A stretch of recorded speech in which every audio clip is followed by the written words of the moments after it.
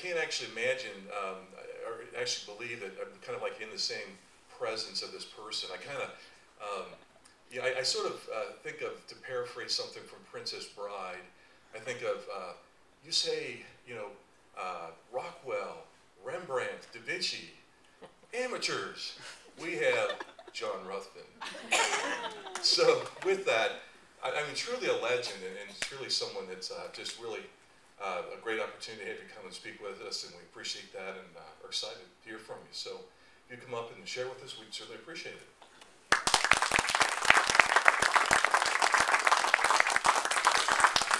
Thanks very much. I hope I can live up to that introduction. Wow, that's great. Just being a bird painter, you know, I've chased a few around, and it's been exciting to do it. And I'm honored to be here with you. I'm a resident of Mariemont, and so anything I can do to help uh, promote Mariemont and say all the good things that happen here, I'm happy to do it. But tonight I talked to Dan, and this was referred back to when he asked me to do this. And he wanted to uh, have me talk about a very specific bird that used to live in North America. Now, I've been involved, as you know, in, in uh, painting uh, the extinct birds that existed here, uh, namely the one I've just finished uh, downtown, the passenger pigeon, on maybe some of you have seen it on Vine Street. Mm -hmm. And I was up on this scaffold, three stories up, and this bird, I was putting Martha, representing her life, and she was the last passenger pigeon on Earth, and she died in the Cincinnati Zoo. They were able to keep her alive longer than anybody, anybody else in the world. So it was ornithologically speaking, it was a big thing. And I'll tell you, when I was up on that scaffold, looking down at all those people watching me paint it, it was quite an undertaking. I remember I looked down one day, and there was a little old lady down there, and she said, get that guy off the scaffold. and uh, she said, actually, get that old man off the scaffold. And I looked down at her and I said, what old man, you know. At any rate, uh, it didn't bother me. It was hot though, just it was the middle of August two years ago. It took me two weeks in that heat to paint Martha. She was 21 feet long. She was only life size when I did the original painting, and that was about so big. So I was really up to my neck in feathers. And this has been an involvement of mine all my life. I grew up in Walnut Hills, born in 1924, and for those of you who can add up, you know how long ago that was. But I don't. I think my mother lied about my age, and so. Uh, but anyway, it's been a wonderful experience. Always involved in the outdoors, dreaming as a little kid of going down the Ohio River with John James Audubon and uh, and Lewis and Clark and all the wonderful things that happened along the Ohio River in front of Cincinnati. So growing up with those enthusiastic dreams, it was just a fun thing for me to be in that atmosphere.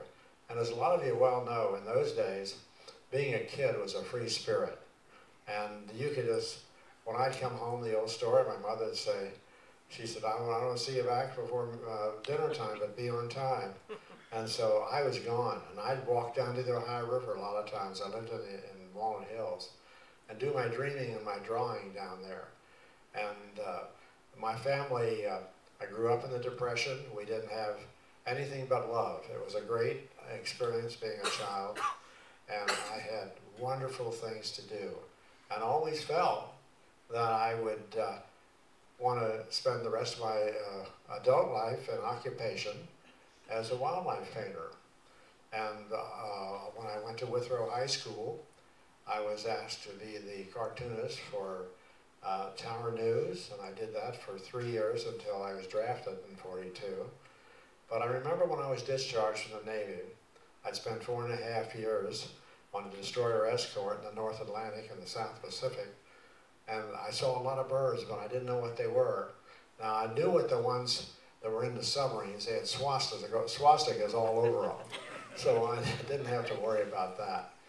But uh, that after I, uh, I got uh, was discharged, I thought, well, I spent my college years at sea. I think now I'm just going to open my own studio, which I did on Gilbert Avenue in downtown Cincinnati. And uh, I put a sign in the window, and it's a brave thing to do for anyone that's got a particular occupation, for that matter, anything. And I put it on the, in the, the sign, I said, I paint everything and anything. And when you do this, you're in, well, you've got to be able to produce. Yeah. So I knew I could draw, and I could. I took my first drawing lessons as a eight-year-old kid at the Art Academy in Eden Park, and used to take the Zoo Eden car, 49, from from uh, Walnut Hills over to the park and took these life drawings, and it was a wonderful thing. I'll never forget it.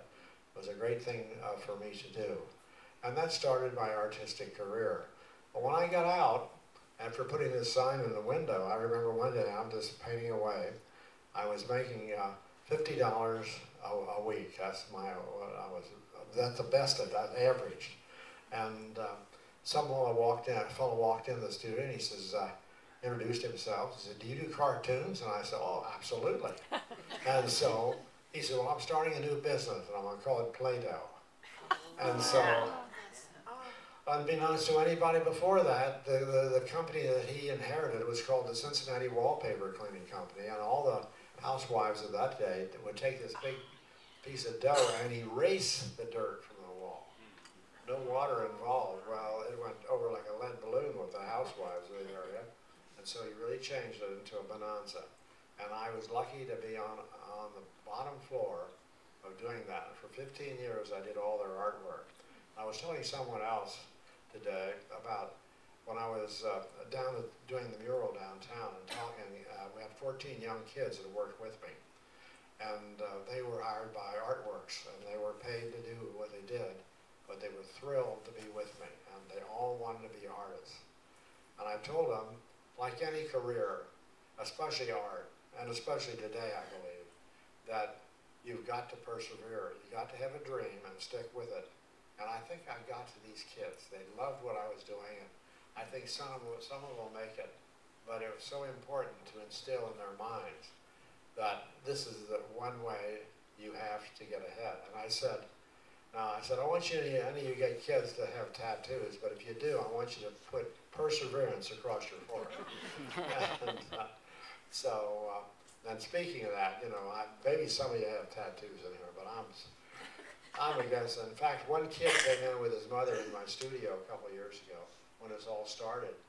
And, and his mother said, you know, my son wants to get a tattoo and he's just 14. She said, what do you think I can do? And I said, well, talk him out of it. So I talked to him and he wasn't going to have any part of it. And so what I said to him, I said, all right, I called my, my secretary, Selma. I said, get me a magic marker that's indelible, only lasts for a couple of weeks.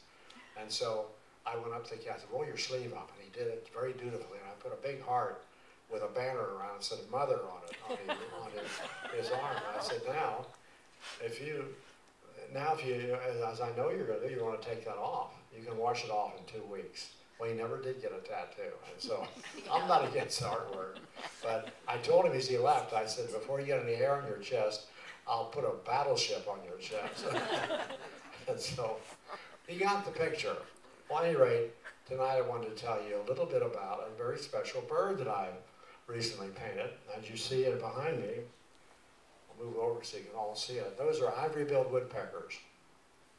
And I've been involved in not only Martha, the last passenger pigeon, but I also done paintings of the Carolina parakeet that used to fly right through and so did the passenger pigeons. And for that matter, this one too, but very rarely. This is the ivory-billed woodpecker, the largest woodpecker in North America. It lived here, uh, the last one was seen in 1934, and was photographed at that time. It's the only time and the last time that anyone has photographed and found an actual nesting of these birds. And they found them in the Singer uh, Swamp down in Louisiana.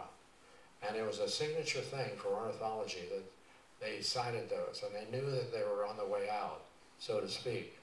Well, the other bird, there was four of them that were considered extinct, and the other was a Labrador duck, and this is a duck that occurred off of the east coast of the United States and was extirpated in a few years after this country was settled.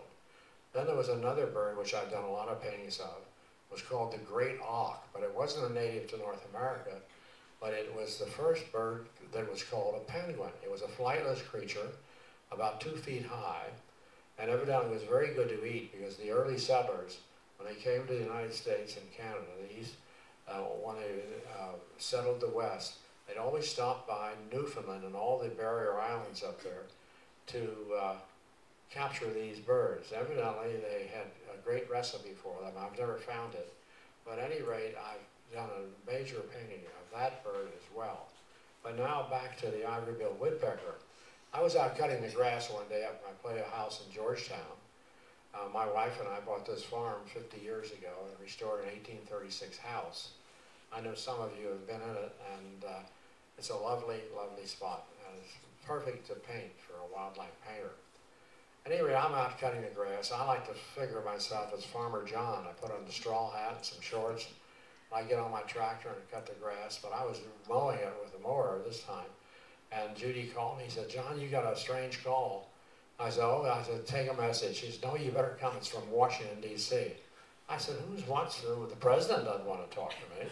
and I said, um, tell him I'll call him back. And she said, no, you better talk to him. So we had this little back and forth thing, and I turned the motor off, went in there. It was a good friend of mine here from Cincinnati who was uh, quite a, uh, an entrepreneur in Washington, D.C., and was very well connected.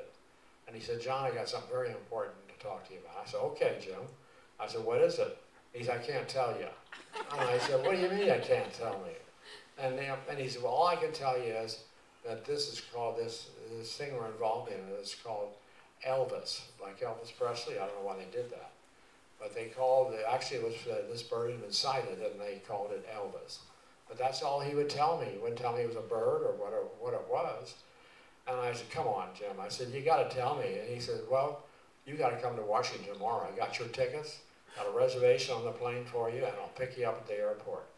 And I knew him well, and I said, you got, you got to be, I said, I got so much to do. I said, I just can't make a, a blind trip to Washington. He said, you got to do it. I said, all right. So I went down to the airport and, they had my tickets down there and I flew to Washington. I get off the plane and here's this big black limousine with the windows all painted black, you know, and they're waiting for me, big sign, John Ruthven here, you know. So I get on the, I get down there and get on the, on, on the, in the, the, the car, they turn the siren on, on and away we went over to the Secretary of the Interior's office, and this Gale Norton was the Secretary of the Interior at that time. And so they rushed me into her big office building and up an elevator to the 15th floor. And by this time, I'm wondering, you know, what the heck is going on? I said, you got to tell me what this Elvis thing. He said, you'll find out. So we go in this darkened room, and at that time, I thought, well, this is really bad. And then uh, John Fitzpatrick, who is the head of the ornithological department at, at uh, Cornell University, was in there, whom I knew. And I said, John, what is this? And he said, well, before I tell you, you got to sign this paper. And I thought, oh, God. I should have brought my lawyer with me. See? And so, well, you get into the odd things being a bird painter. So anyway, so I signed the paper, and they turned the lights out right away, and they showed a, a four-second movie of this unusual bird, and they said it was an ivory-billed woodpecker, and it really was. I know that bird. I've painted a lot of paintings of it, including this one. And so uh, I sat through the meeting entranced by this, uh, trans, uh, uh, was, I was fixed by it. Transfixed, that's the word I'm looking for. Anyway, uh, so uh, I was thrilled with, uh, doubly that they, this bird had sighted, and secondly, that they wanted me to do the official painting for it. This is a print of that, of that painting. And so I, was, uh, I, I, took all this information back to and they said, we're going to form an expedition to go down to the area where it was sighted. This is along the White River in Arkansas. And it was, it was seen by a gentleman named Gene Sparling. And he was on the television for a couple of years after this sighting, talking about this unusual occurrence. He was a, a an uh, active uh, kayaker and he was out kayaking in the bayous around the White River in Arkansas, and all of a sudden this bird flew over his head and flew away, and he was a great outdoorsman and a wonderful bird watcher. He knew right away he didn't know what that was. The bird landed in front of him, and he got a good look at it, and sure enough, then he identified it as an ivory-billed woodpecker. At that time, it flew off. He jumped out of the, the kayak and ran after the bird through the swamp to get another look at it, but he didn't do it. So he kept this secret for uh, about two weeks, and he told his wife about it. And she says, well, you've got to, go talk to the uh, Division of Wildlife about your sighting, which he did. And from that moment on, it was transferred to Cornell University. They sent some experts down there, and they, lo and behold, saw it as well. And everybody was excited about it. Now, the reason for the secrecy, the U.S. government owned a lot of timberland around there, and they knew that it would cause a tremendous uproar if they announced that a very rare bird was sighted in their woods. And the owners thinking they'll never be able to cut any timber like happened out west with the spotted owl. I guess you've heard of remember that. So it was a tremendous uproar. Well, they didn't want to have that happen again, so the federal government said, we're going to take some time and work this out and see if the bird is really there. So they formed this group. I went down with them. I spent about two weeks walking through the swamps.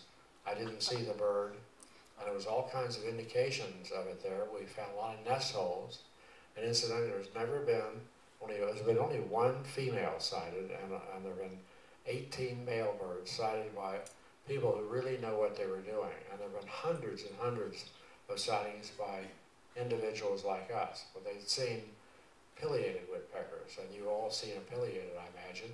They fly through Mariemont occasionally. Yeah. They're down along the Little Miami River. It's a giant bird and beautiful in its own right, but nothing like the the ivory-billed woodpecker.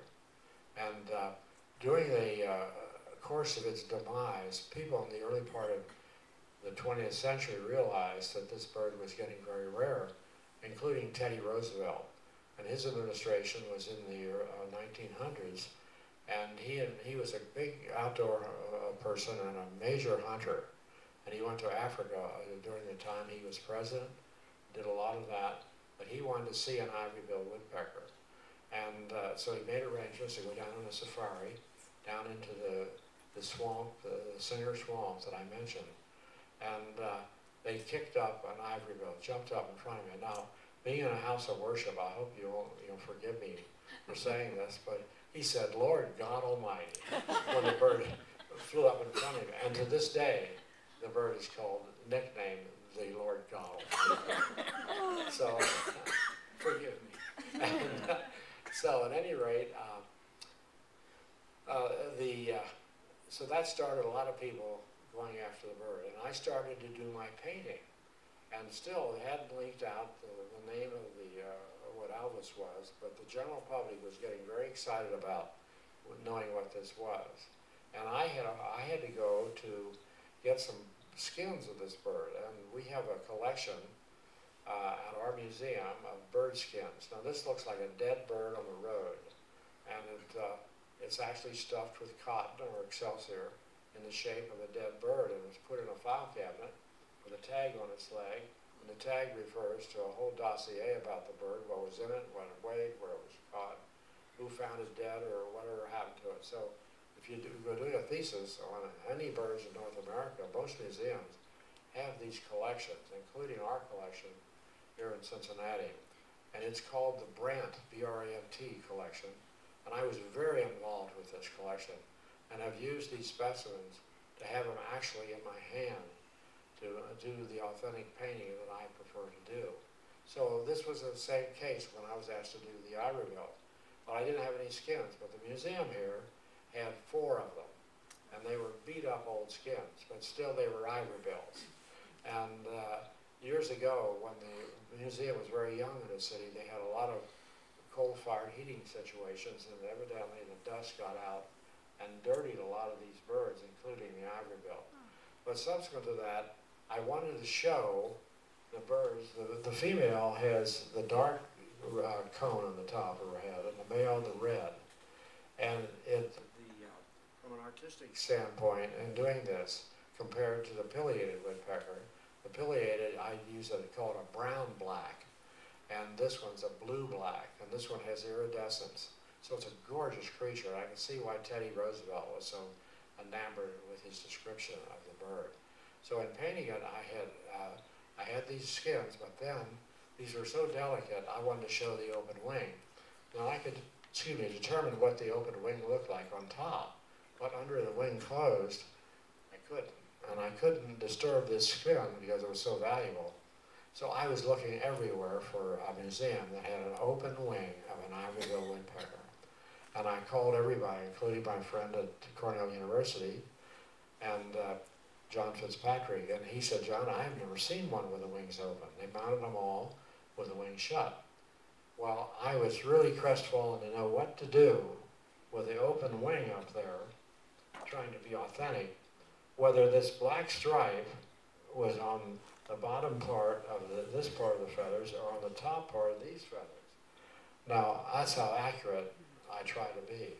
Well, finally, John Fitzpatrick called me and said, there's somebody up that has a museum in Canada, and uh, they had a, a fire uh, not too long ago, and their collection was partially destroyed, and one of the cases of their, their ivory-billed woodpecker fell over, and it was a loosely done specimen, and you could peek under the wing. And I said, oh, fantastic.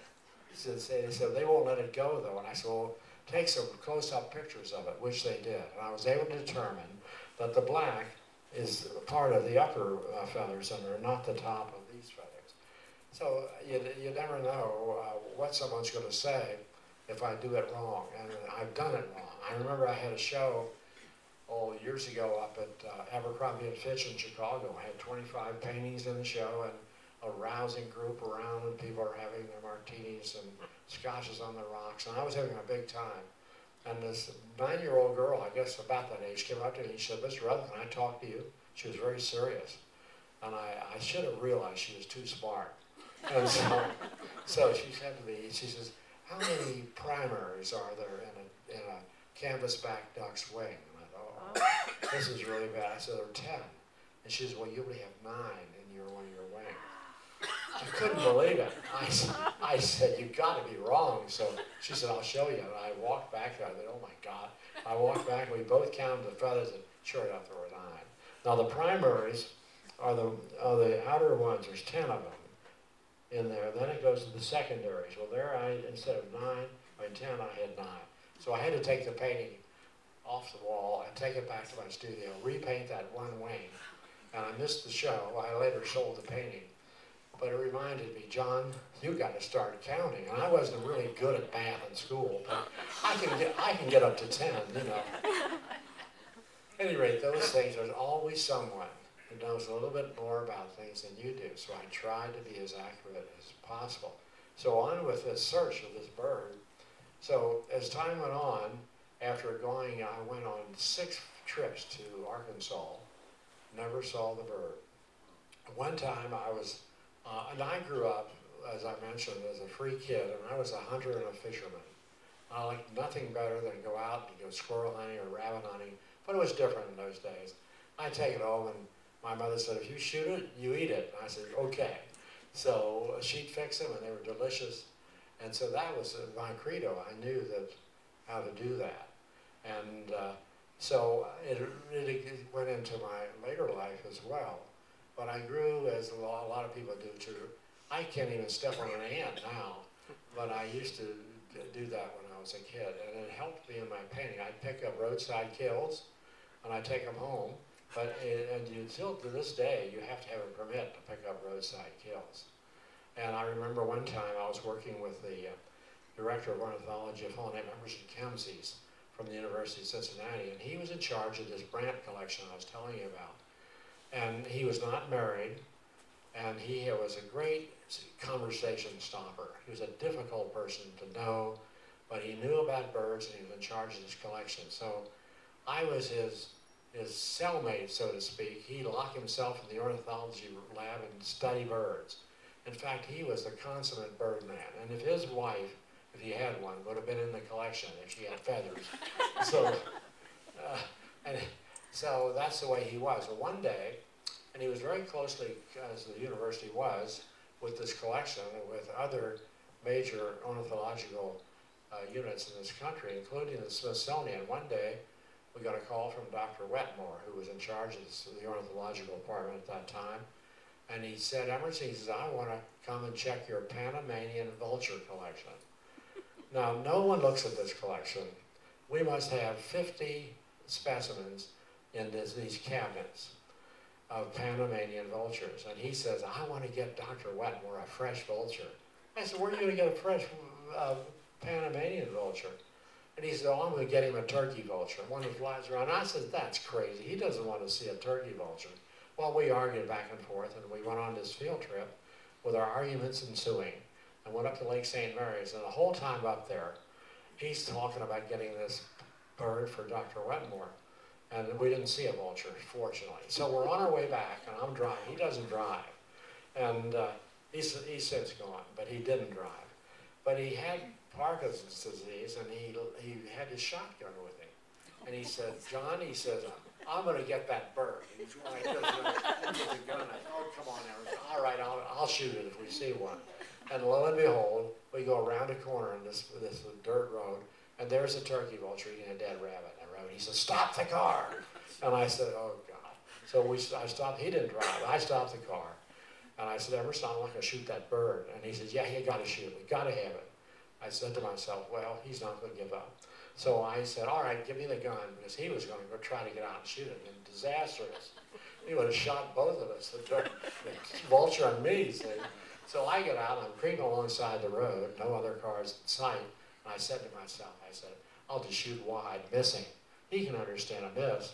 So I'm sneaking through the grass along with his gun along the road. And I pick up, and boom, I shot, and down goes the vulture.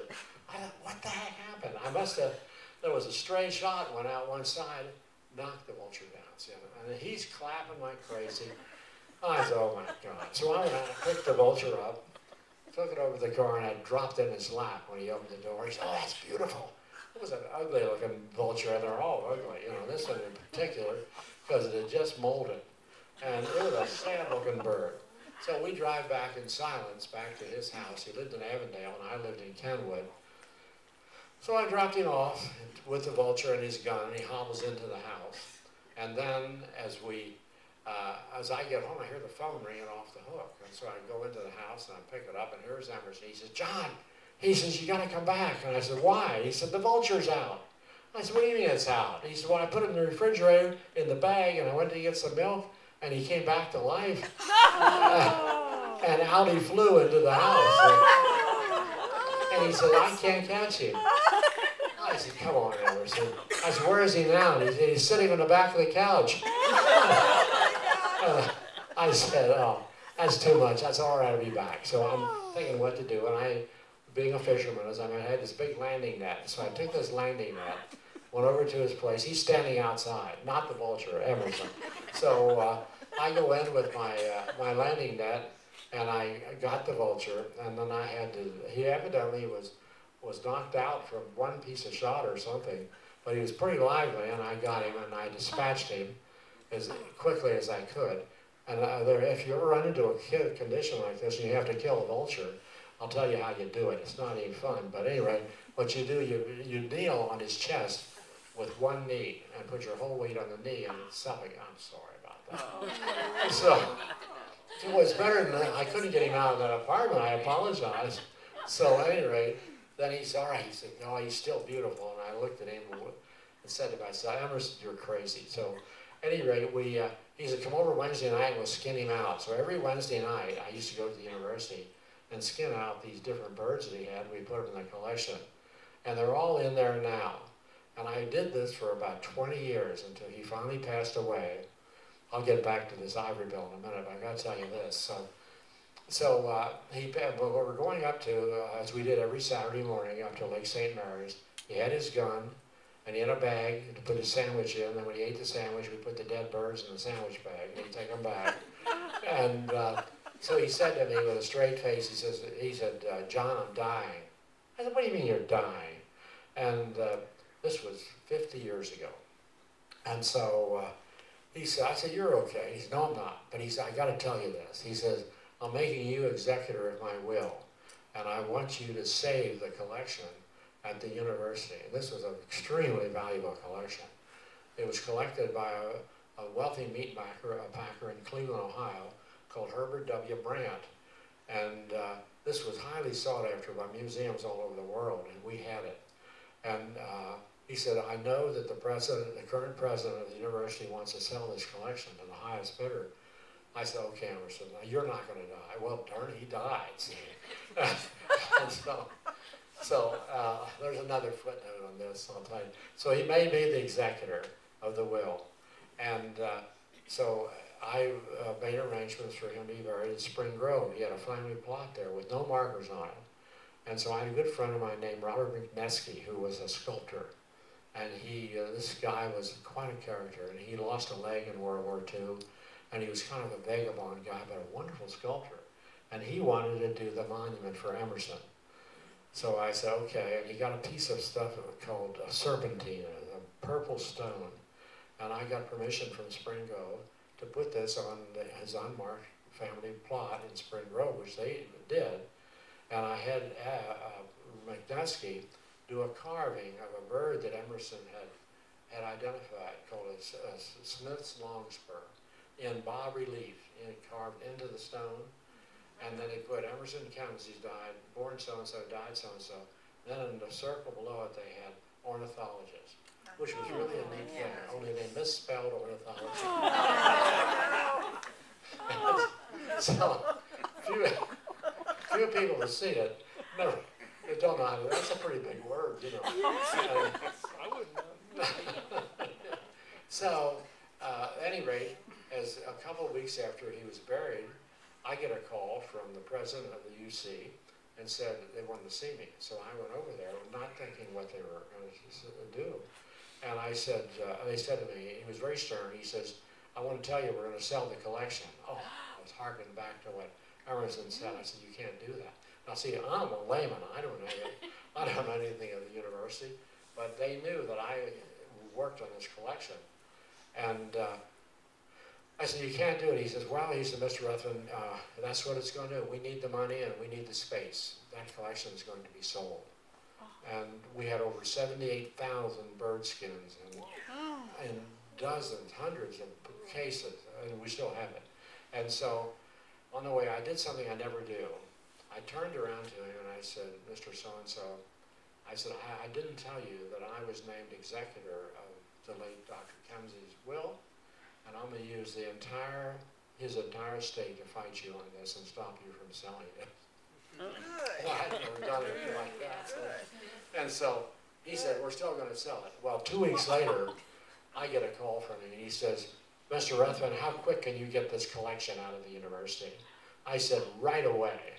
And so I went down to, uh, uh, the director of our Natural History Museum, Ralph Dury, and I said, Ralph, how would you like to have the greatest Christmas gift you ever got, had gotten? He said, tell me about it. I said, I have a chance of getting the Brandt collection for the museum. He said, oh my God, we'll have a celebration. So I went then, I, and his, I didn't tell this to the director of the university. I said his estate in total is only ten thousand dollars. So that would hardly pay one day's attorney's fee. And so, but I wouldn't, didn't tell him that. He didn't know how wealthy Emerson was. And uh, so we got the collection down there, and I went to Allied Van, and I said, I need some vans to move this stuff out in two weeks. So with two giant vans, and I think eight men, took two weeks to move that collection down to the Natural History Museum, and it's there to this day. And I'm happy to say that it was a well-won battle, and it was it benefited everybody in, in connection with wildlife. Because there's a lot of university students to this day do theses on different birds, and uh, they use those. Few people know about the collection. And uh, as I mentioned, I, I picked up roadside kills. Incidentally, you know, that vulture thing, I did have a permit to shoot that bird. so I was legal at any rate. Getting back to that, that's just part of the things I'm involved in. As an artist, you know, I was all wrapped up in this museum thing. And oh, uh, I told you about the ornithology. There was another thing that Emerson did. He was, he was, he really did some dumb things. We're walking out of the university one day, and there's a snake crawling across the floor in this uh, laboratory of ornithology. And I said, God, look at that. And he said, oh, I want to get it. And I said, don't you touch that. And he reached down, he picked up, and it bit him.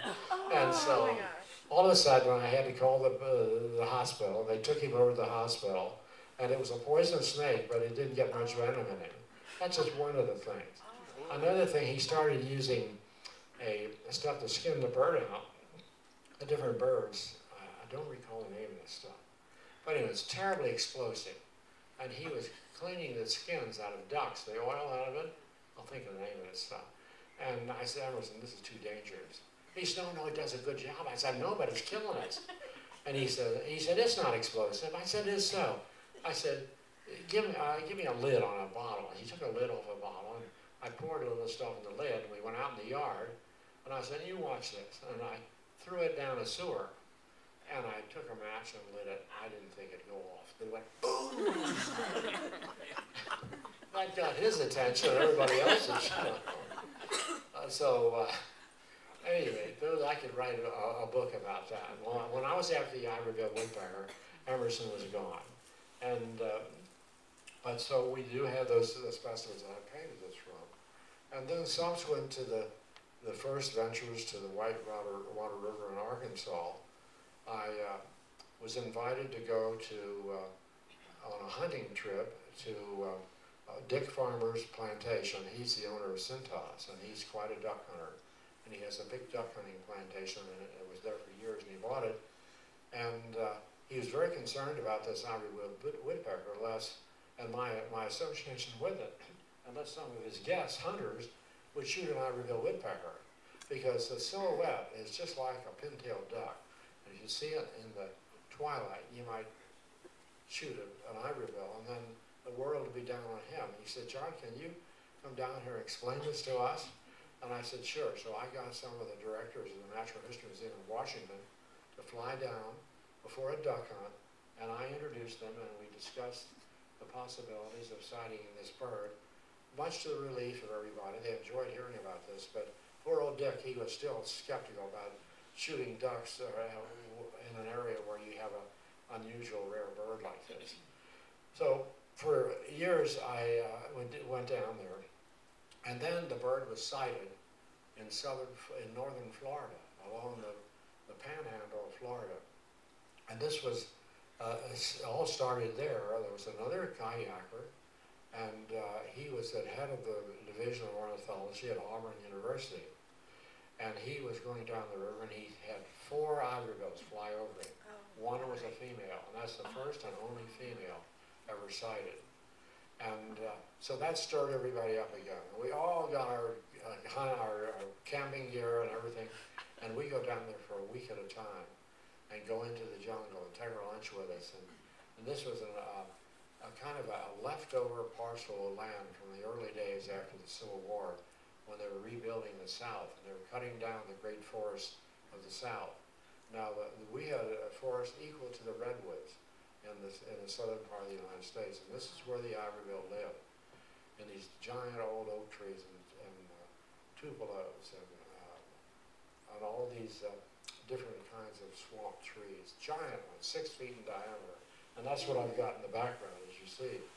And uh, so it was a great area, and the birds were there, but then there's this difficult thing. These are non-migratory birds, and they inhabited this one area. And the latest theory is, since only one female has been seen, that it harkens back to the time of the Civil War when they were cutting these forests. They took the easy ones first, and took the ones in the deep swamps last if they did. Consequently, it was a patchwork after they finished rebuilding the South of these old growth forests.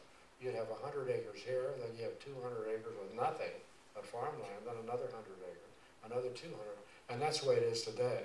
But you have a, a non-migratory bird. Actually, what the, the, science believe right now is that the, the sexes have been separated since the Civil War, and there has been no mating. And these birds live up to 50 years. And oh. so there must have been some. But because of this, and only one female, female, and no active nests have been found, and no young birds have been found. And uh, so it's the, uh, the thought that it is gone is probably true, and, and there's just a few lingering ones around. But I'm going down in November and look again. Mm-hmm. And I got my troops ready to go, and it's a fun thing. We have a big time tramping through the swamps and going down the Choctawhatchee River, which is a wild little river, but it's, it's a dangerous river too. It's not any wider than half as big as wide as this room, but it's about eight or nine feet deep, pretty swift. And uh, unfortunately, we were told it's a great fishing river. And since time immemorial, uh, first the Indians, then the early settlers, all loved to fish the Choctawhatchee. Over the period of time, they lost a lot of hooks and lines, and these lines were entangled in the brush. Now, if you tip over and you go into a brush pile, you're in trouble because you could be hooked on one of these hooks. And uh, so we avoided brush piles. Besides that, there are a lot of the brush piles. We have snakes and the, the cottonmouth moccasins. No fun and games, believe me. He'll come after you. And we'd see those. We, the alligators were pussycats compared to the, these. And then we had these giant mosquitoes, all kinds. And they, we were really desired by them. And besides the mosquitoes, you have the heat. It's a lot of fun. You got to get down there. okay.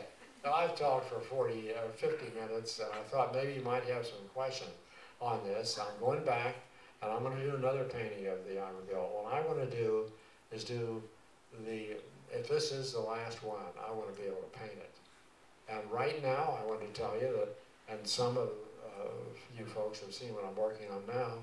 I've been asked by the uh, State Department and uh, the Pentagon to do a painting for the USO. And this is a, I've been a big flag waver all my life, and I'm doing this bald eagle, life size, wings out, and he's kind of wrapped in the American flag. I just finished it, four feet by four feet. Yeah.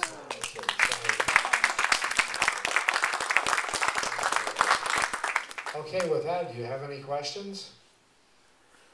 You want to go bird watching with me? Yeah. okay, well, yes. How big is the ivory-billed woodpecker? He's about, uh, yeah, that's about the size of it, right there. I did a life size, a little sh- smaller than that. He's a little bit bigger than the pileated. You know the pileated? Oh, yes, we've seen that. Yeah, yeah, and uh, the pileated has a black bill, and uh, this bird has a chisel-like bill, and it actually peels the bark off of old dead trees with its chisel-like pointed beak, whereas the ivory-bill has a definite needle-point beak and digs in, digs holes in the trees to get its insects. So not that, they'll eat anything, you know, but that's the size. Yes? You think there's any other swamps that they could be in? I mean, there's just a Florida swamp and a Louisiana swamp. Yeah, all over the South. The habitat of the bird was unknown out, outside the realm of north to the Ohio River, east to the Atlantic Ocean, west to the Mississippi, and then all of Florida, all the way down into. And that's where the bird occurred. Not to say that it didn't venture out in primeval times, because in uh, right here in Mariemont, I'll bet you, someday when they do the more digs down in this wonderful place, they, you know, the Indians were, you might find an ivory-billed woodpecker beak, because the early Indians and the, and the prima, uh, uh, primeval Indians used to revere this bird. It was almost mystical, and they put skeletons of the head on the things around their necks, and they found a lot of uh, ivory-billed bones in uh, kitchen middens and graves all the way up as far as Canada. So it's hard to say what the total extent of this bird was.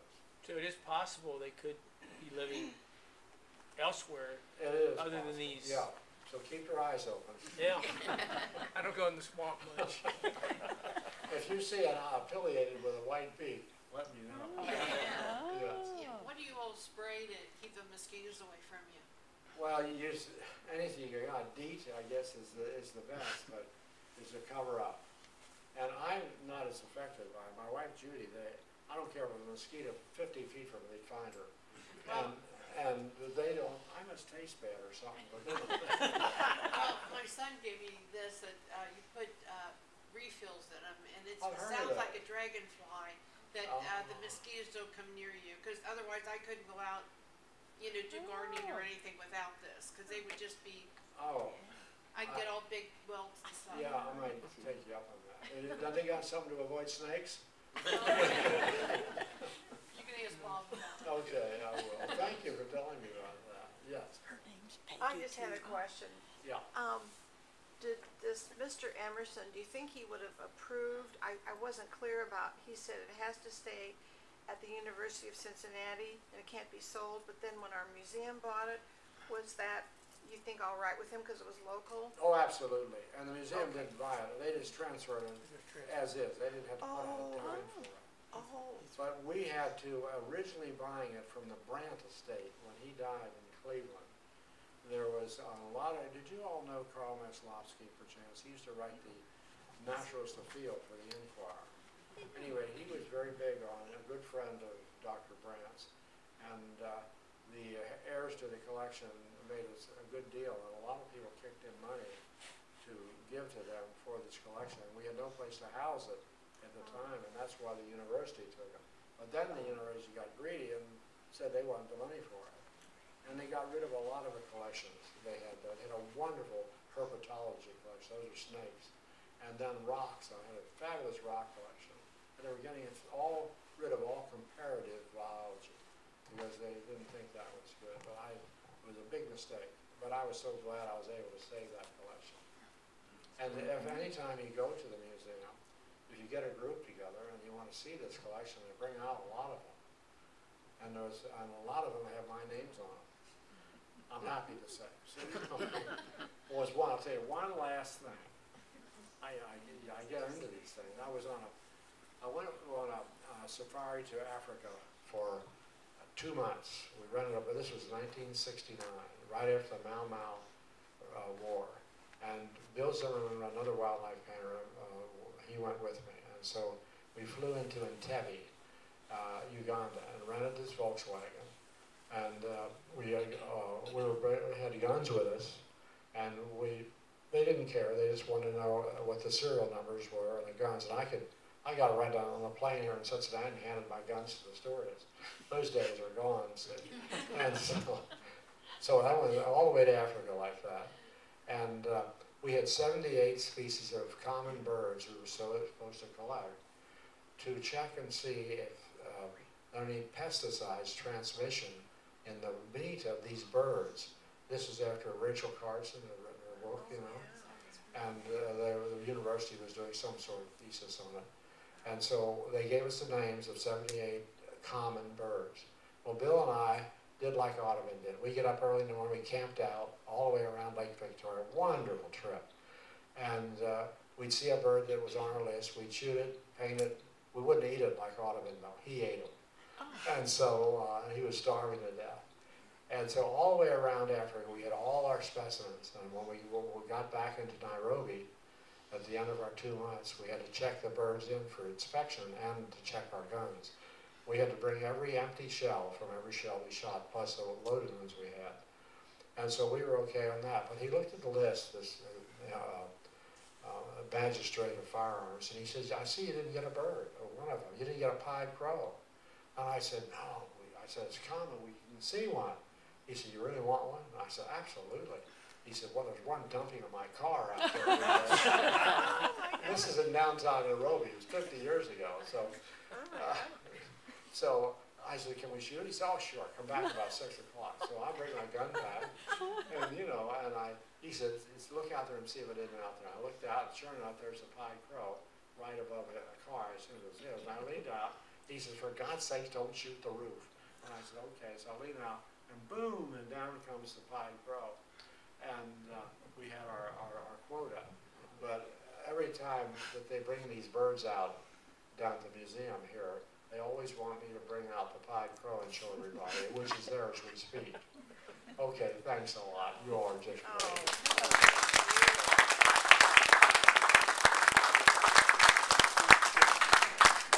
Yes, thank you. Wonderful.